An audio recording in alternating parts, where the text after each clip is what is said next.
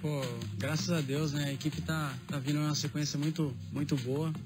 É, todos aí entenderam a, o que o Tite tentou passar pra gente, né? Então, compramos a ideia dele.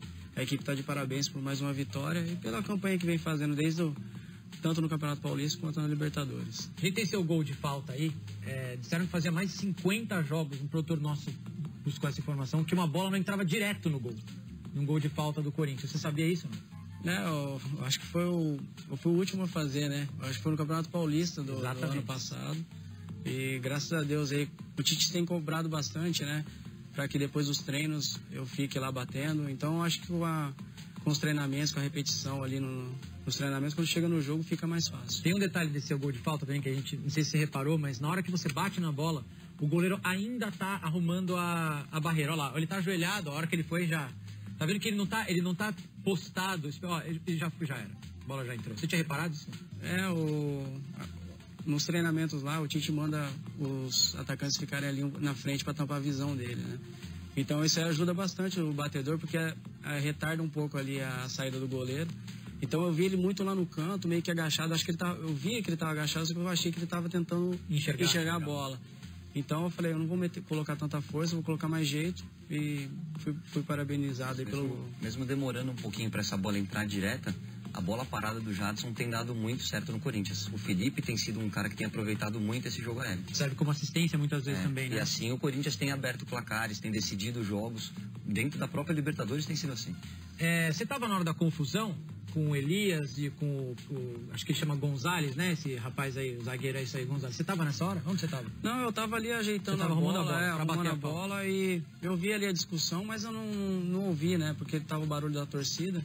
Mas depois do jogo, o Elias, é, no vestiário, ele veio falar comigo, falou que tinha acontecido isso aí. Isso aí é ele falou coisa... macaco, a gente tem, dá pra ver direitinho no lábio dele ele falando macaco. É uma coisa meio, meio chata, né? De hoje em dia acontecer essas coisas de injúrias raciais, então é, ele ficou um pouco triste, mas ele é um cara maduro, né? Então, é, eu falei para ele, falei, ô Elias, vamos seguir em frente, o time tá bem, isso aí não vai tirar sua concentração do time. Acho que foi uma coisa que aconteceu, mas a gente tem que deixar para trás. O jogo do Danúbio já foi. Então tem uma imagem no final que ele pede desculpa pro cara. É, é, aí eu já acho que é, é, é bonzinho demais. É, é nobre tá demais da parte do Elias. Porque você toma uma pancada, você vai lá e cumprimenta o cara, faz parte do jogo. Você toma uma entrada mais forte, faz parte do jogo. Vou chamar alguém de macaco, aí não tem perdão, na minha visão. E elogiei muito o Elias individualmente. Lá, desculpa lá, ó. No intervalo do jogo justamente porque não é fácil você ser ofendido da maneira como ele foi, se manter com foco, se manter concentrado e ainda dar o passe para o segundo gol do Guerreiro da maneira como ele fez a jogada individual. Vamos ver não, se... não, foi um golaço, né, a começar pelo Jadson. E, e, sobre a injúria racial, que a gente está cansado de falar aqui também, infelizmente, mas é o seguinte, a Comebol tem a imagem, dá para ver direitinho o que aconteceu, só suspender o cara, não tem problema nenhum, não vai fazer falta nenhuma para nós todos. É. E pune, vai. Pune, pune bonito. Sobre o segundo gol, Jadson, queria que você contasse pra gente o que aconteceu teve a bica do Sheik, você, o Guerreiro domina lá. Atenção. Bicuda do Sheik, Guerreiro, de primeira. Conta pra gente, é, quando, quando eu vi que o Sheik deu o balão ali, que eu vi que ia cair no, no Guerreiro, eu já me apresentei para ele, né?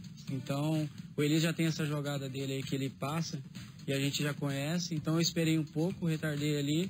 Ele passou, consegui é, tocar na passagem dele. Ele pô, deu um passe ali na medida pro Guerreiro, né? Foi um contra-ataque muito bom. Você procura o Elias, né? Você até dá uma olhadinha pra esquerda, você sabe que ele tá vindo, é, é, é ele, tipo, a gente já conhece um ou outro ali dentro de campo, já sabe as características.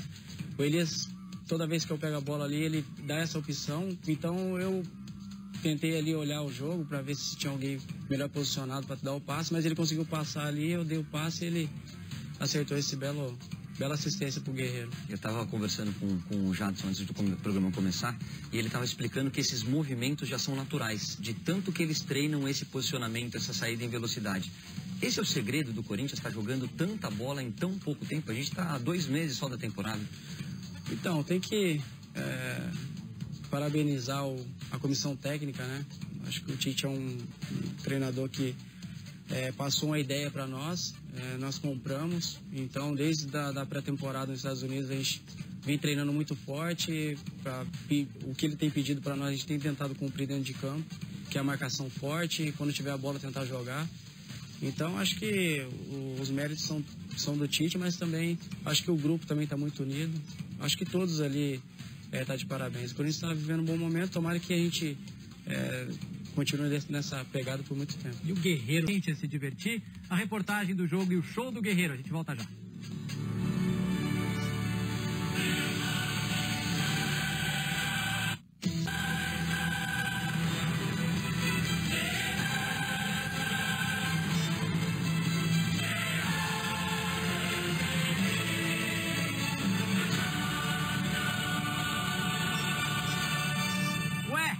Liga dos Campeões não, atendendo a pedidos de torcedores corintianos.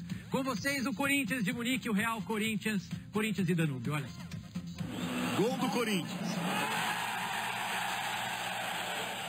Não foi. Nessa hora, o jogo nem tinha começado. Eles ficaram sabendo do resultado do São Paulo e São Lourenço.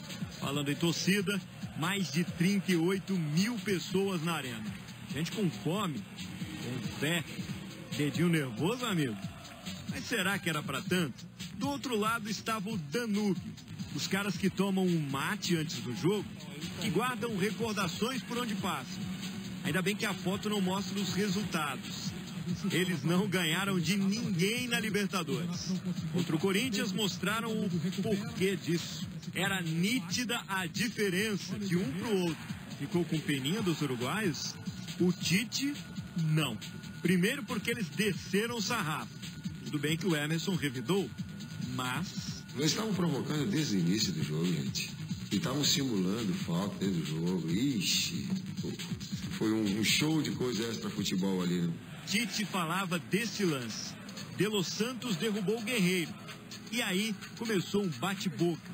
E o pior, Christian Gonzalez, zagueiro, teria chamado Elias de macaco. Elias não quis falar, nem no intervalo, nem depois do jogo. As vozes ouvidas foram dos companheiros. Fez o gesto de como fosse macaco e ofendeu o Elias, né? A gente tem que saber que todos somos iguais, seja branco, preto, azul, amarelo. Então é, é triste. O jogador uruguaio se defendeu. Digo macaco? Macaco não. Jadson deu o melhor troco que o esporte e o bem poderiam dar. 1 a 0 Corinthians. Jadson partiu por cima da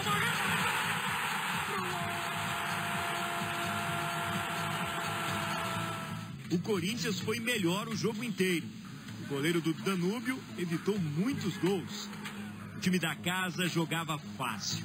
Futebol que empolgou quem ainda está começando a torcer e até quem já esteve dentro de campo independentemente do que vai acontecer lá na frente, mas o futebol que o Corinthians vem jogando é um futebol para se elogiar, para não se queixar de novamente da história do Corinthians. Sério? Sério. Mesmo quando o time errava, valia o espetáculo. Um escorregão não era motivo de vai. Pelo contrário. E o jogo ganhou um nome a partir dos 33 minutos do primeiro tempo. Daí em diante só deu esse aí, Guerreiro, que aproveitou o jogo contra o Danúbio para aumentar os números da própria carreira dele com a camisa do Corinthians. Esse era o Emerson zagueiro. Do bicão dele nasceu a jogada do segundo gol. Guerreiro dominou e tocou para Jadson.